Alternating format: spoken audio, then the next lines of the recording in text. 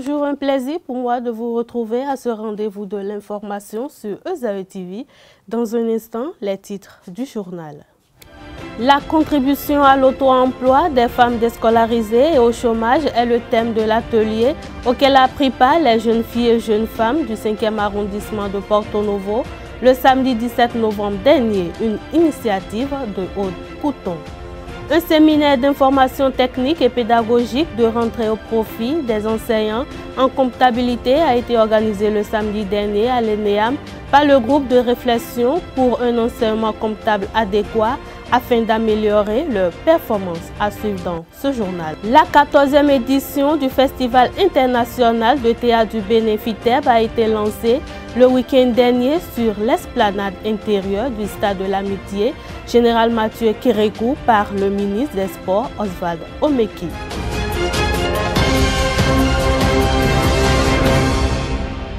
À nouveau, bonsoir. L'atelier de formation destiné aux jeunes filles et jeunes femmes, intitulé Contribution à l'auto-emploi des femmes déscolarisées et au chômage, a pris fin le samedi 17 novembre dernier dans le 5e arrondissement de Porto Novo. Cette initiative de Haute-Couton est une activité du programme RECAFEM 4 du consortium WANEP Rifonga financé par la coopération suisse au Bénin. Reportage. L'atelier de formation sur le projet Contribution à l'auto-emploi des femmes déscolarisées et au chômage au profit des jeunes filles et jeunes femmes bénéficiaires qui a démarré le samedi 10 novembre 2018 entre dans le cadre de la quatrième phase du programme de renforcement des capacités d'action des femmes RECAFAM 4. À travers ce projet, plusieurs jeunes filles et jeunes femmes sélectionnées par WANEP et Rifonga Bénin dans le 5e arrondissement d'intervention du consortium bénéficient de cette formation. Nous sommes en phase de mise en œuvre et en phase de bilan d'activité. Donc, euh, il nous est demandé d'initier des micro-projets et pour impacter notre environnement. C'est pour ça que nous avons initié ce projet, la contribution à l'emploi. Pourquoi contribution à l'emploi? Parce que nous sommes dit, aujourd'hui, il y a beaucoup plus de chômage. Et les femmes représentent déjà 52% de la population, fait, font qu'il y a beaucoup plus de femmes chômeurs euh, aujourd'hui. Donc, nous, nous avons réfléchi. Et quand tu les rencontres, elles disent que le problème, c'est qu'elles n'ont pas des moyens financiers pour entreprendre. Nous nous sommes dit nous sommes réfléchis, nous avons dit qu'est-ce qu'il faut faire? Comment entreprendre sans gros moyens? C'est-à-dire, quand on dit entreprendre avec zéro. Et puis, euh, j'ai réfléchi, je me suis dit, quand même, il y a quand même les plastiques qui sont là. Donc, nous allons, nous allons recycler les plastiques en participant aux objectifs du développement durable, tout en, les utilisant pour euh, fabriquer des objets d'art. Ce programme de renforcement des capacités d'action des femmes, RECAFAM 4, financé par la coopération suisse au Bénin, vise à promouvoir le leadership féminin et à renforcer les capacités théoriques et pratiques des bénéficiaires. Ce projet est à sa phase 4 et le consortium Rifonga Wanep ayant émis l'idée de renforcer beaucoup plus les femmes, ont pensé cette fois-ci dans ce projet-là à des jeunes dames ou à des jeunes filles entre 18 et 40 ans parce que le travail fait depuis plus d'une vingtaine d'années par le Rifonga avec euh, les femmes n'ont pas donné satisfaction comme on l'aurait souhaité. Néanmoins, le Rifonga a eu satisfaction par rapport à la participation des femmes aux instances de décision. Et ces différentes femmes ont reçu un certain nombre de formations, dont le leadership féminin, la gestion des conflits, etc. Tout l'armement qui peut leur permettre d'être un bon leader demain. Il faut noter qu'à travers cet atelier de formation qui a pris fin le samedi 17 novembre dernier. 140 jeunes filles et jeunes femmes ont bénéficié de cette formation de Wanaperifonga Bénin. Et selon les statistiques, le Bénin est classé parmi les derniers pays de la sous-région en matière de participation des femmes. L'esplanade intérieure du stade de l'amitié général Mathieu Kérékou a accueilli le samedi 17 novembre dernier le Gotha du théâtre mondial pour l'ouverture de la 14e édition du Festival international de théâtre du Bénin FITEB. L'icône du théâtre béninois et ancien directeur du FITEB Olugbin Din, le directeur du FITEB Eric Hector Hunkpe et le ministre du Tourisme, de la Culture et des Sports Oswald Omeki, entourés des directeurs et programmeurs du festival, ont sonné le gong pour lancer le FITEB 2018. Suivez plutôt. Ces trois coups de gong donnaient le top de la 14e édition du Festival international de théâtre du Bénin FITEB au stade de l'amitié générale Mathieu Kérékou le samedi 17 novembre 2018. Une cérémonie présidée par le ministre du Tourisme, de la Culture et des Sports Oswald Omeki.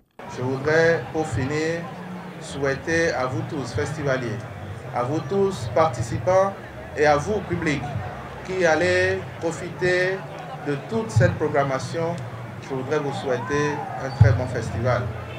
Le théâtre est l'une des choses les plus riches que l'on possède et je voudrais que vous en profitiez pour vous nourrir et vous enrichir.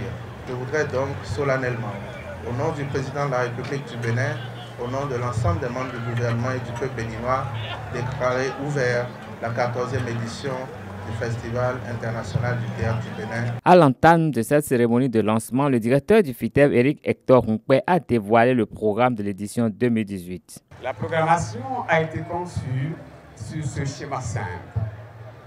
Des spectacles que nos compatriotes aimeront. Et donc, un point d'ordre est mis sur des spectacles qui donnent l'effectivité à l'effervescence le conte chanté, le conte mimé, l'humour avec Je suis Charlotte du Cameroun. Mais nous aurons évidemment des spectacles de notre valeur, comme la tragédie, non pas du roi Christophe, mais du roi Césaire, concocté par Ousmane Lady, pour nous donner une autre façon d'aimer ces Caraïbes, ces pays qui sont une partie de nous, mais qui sont ailleurs que nous, et qui nous représentent, et qui nous aiment, nous attendent, et veulent que nous leur tendions la main pour que l'osmose s'installe et envahisse le monde. Mesdames et messieurs, ainsi, nous visiterons des pays. Les villes de Cotonou, Porto Novo, Lokosa, Abomey, Parakou et Natitengu vont vibrer au rythme du théâtre mondial jusqu'au 24 novembre prochain. Le groupe de réflexion pour un enseignement comptable adéquat a organisé le samedi 19 novembre 2018 dernier à l'École nationale d'économie appliquée et de management, ENEAM, un séminaire d'information technique et pédagogique de rentrée au profit des enseignants en comptabilité. Venus d'un peu partout sur le plan national, ces enseignants sont venus s'actualiser afin d'améliorer leur performance. Le compte rendu avec Abdelkader Achiro. L'Association des professeurs de comptabilité du Bénin, connue sous le vocable GRECA, entendait groupe de réflexion pour un enseignement comptable adéquat, a organisé le samedi 19 novembre 2018 un séminaire d'information technique et pédagogique de rentrée au profit des enseignants en comptabilité, ayant pour objectif le renforcement des capacités des enseignants en comptabilité afin de leur faciliter la dispense des cours. Ce séminaire s'inscrit dans le plan de travail annuel du GRECA qui émane de son plan d'action. Il a été question au cours de cette séance d'information et de formation, la tenue d'une salle de classe, des méthodes orthodoxes pour examiner et évaluer un apprenant, les relations à avoir avec les apprenants, comment corriger les copies de composition, la préparation des fiches de cours et la dispense des cours avec en ligne de mire ce sur quoi ils doivent insister pour qu'à la fin de l'année, les résultats soient élogieux. La plupart des enseignants qui sont présents ici ce matin n'ont pas reçu une formation pédagogique. Or, je leur ai rappelé au début que tout enseignant doit avoir trois compétences principales. La compétence euh, disciplinaire qu'ils ont acquise au cours de leurs études, la compétence pédagogique et des compétences communes qui leur permettent de vivre en société, de vivre au sein de leurs établissements en bonne harmonie avec leurs euh, collègues, les parents d'élèves, l'administration, etc. L'objectif donc de la rencontre de ce matin, c'est de permettre à ceux-là, surtout ceux qui ne sont jamais allés à l'école normale et qui n'ont pas eu une formation pédagogique, d'avoir quelques informations sur la manière dont ils doivent se comporter en classe pour bien dérouler une leçon. Deux grandes parties dirigées par des spécialistes ont meublé les assises. La première sur les aspects pédagogiques a été dirigée par l'inspecteur délégué Soumaïla Taïrou, assisté des conseillers pédagogiques Séverin Fanou et Prosper Rumpé. La deuxième grande partie présentée par Rodrigue Bécou, appuyée par Serge Coutinan, inspecteur des impôts et troisième vice-président du GRECA, a porté sur ce qu'il faut enseigner en matière d'aspects fiscaux dans le programme de la comptabilité de la seconde en terminale. En réalité, quand on parle d'IRPP, il y a plusieurs types d'IRPP. C'est d'abord ça qu'il faut savoir. Il y a l'IRPP catégorie des salaires, c'est l'IRPP TS. Il y a l'IRPP au niveau des capitaux. Capitaux, il y a au niveau des valeurs mobilières, au niveau des dividendes, c'est l'IRPP qu'on appelle ça ici. Au niveau des créances et des intérêts également, c'est l'IRPP. Mais quand on dit IRPP tout court sans préciser la variante, c'est de l'IRPP dont nous sommes en train de parler là, sur le revenu en réalité. Notons que l'intervention du premier vice-président de l'association des enseignants de comptabilité du Bénin a porté sur l'impôt sur la société, les impôts sur salaire, l'IRPP, la TPS, la TVA, avec les références dans les lois de finances et le Code général des impôts. Il a insisté sur les nouvelles appellations et les nouveaux minima. Nous attendons de ces enseignants qu'ils mettent en pratique immédiatement tout ce qu'ils ont reçu aujourd'hui pour que nous puissions améliorer les performances. Le GRECA a beaucoup de perspectives. Première des choses, c'est de vulgariser actuellement l'enseignement de la comptabilité dans tout le pays jusqu'au nord, pour que les enseignants qui sont au fin fond du pays puissent également être au parfum des réformes comptables et également de tout ce qui a changé en matière fiscale. Autre objectif également du GRECA, c'est de prévoir la décoration de certains doyens en comptabilité parce qu'ils ont beaucoup fait et il faut reconnaître leur mérite vivant et non à titre posthume.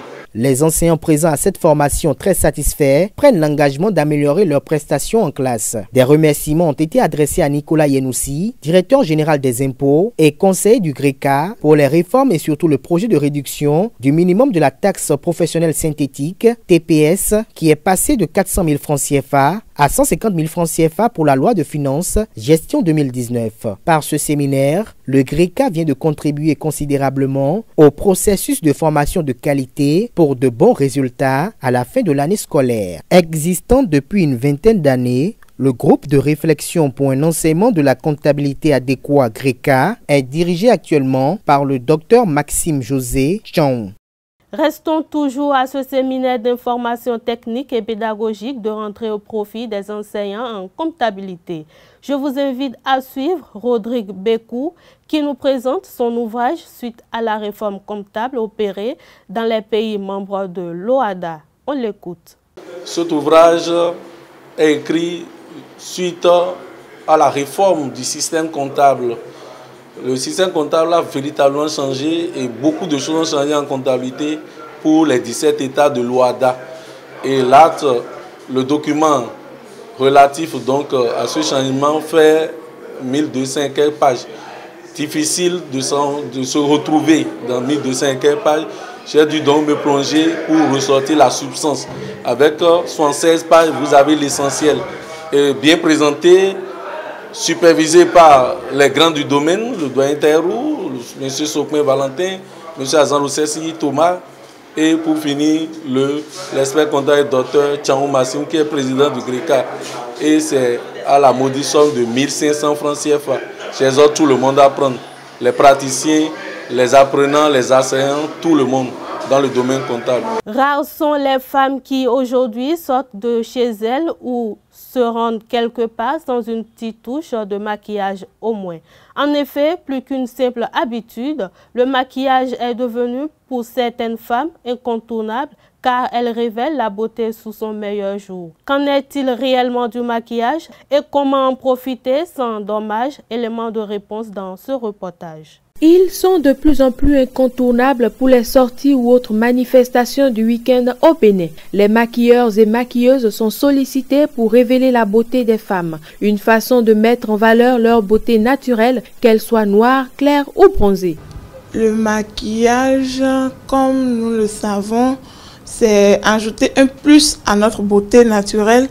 Donc c'est juste pour ressortir ce que notre beauté la beauté de la femme, c'est ressortir la beauté de la femme, une petite touche de plus pour égayer son visage. C'est une manière de ressortir la beauté, même si c'est vrai que la beauté est intérieure, c'est une manière de ressortir la beauté de la femme.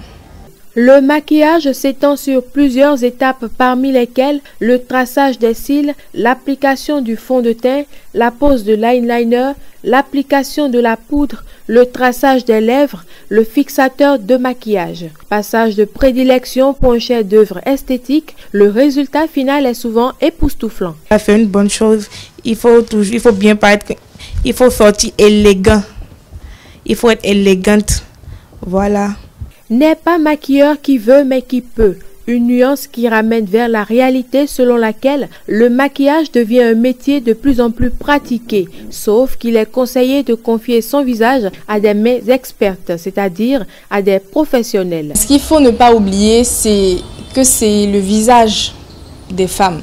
Donc il ne faut pas utiliser n'importe quel produit parce que ça pourrait mettre en danger la vie de certaines personnes. Elles peuvent être allergiques à certains produits donc, euh, pour celles qui sont passionnées, qu'elles fassent au moins quelques recherches.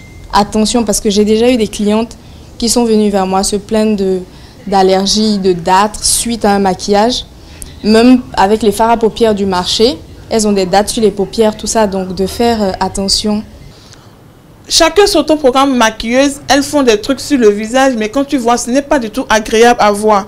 Ce n'est pas de tout ça. Donc, si, vous, si c'est vraiment, d'autres le font parce qu'il y a de l'argent dedans et non pas passion. C'est quand c'est une passion, même quand tu l'apprends pendant des années, quand c'est une passion, la technique de le faire, elle est toujours différente de genre je veux y gagner de l'argent. Avant de, de laisser quelqu'un vous maquiller, de lui demander des trucs qu'elle aura déjà eu à faire dans le passé pour voir un peu le travail qui a été effectué avant de laisser votre visage à cette personne-là. La beauté est naturelle, certes, mais savoir la valoriser revient à avoir recours à certaines méthodes dont celle du maquillage actuellement en vogue. En tout état de cause, il est recommandé de savoir distinguer le bon maquilleur du faux pour conserver un beau visage. Demain se célébrera la fête de Maouloud. En effet, le Maouloud est la commémoration de la naissance du prophète de l'islam Mahomet. Elle se célèbre à la date 12 du troisième mois de l'année musulmane.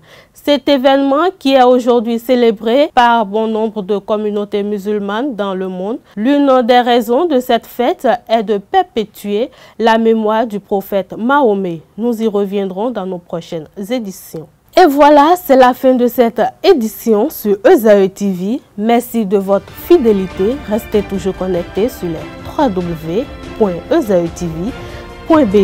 Bonsoir.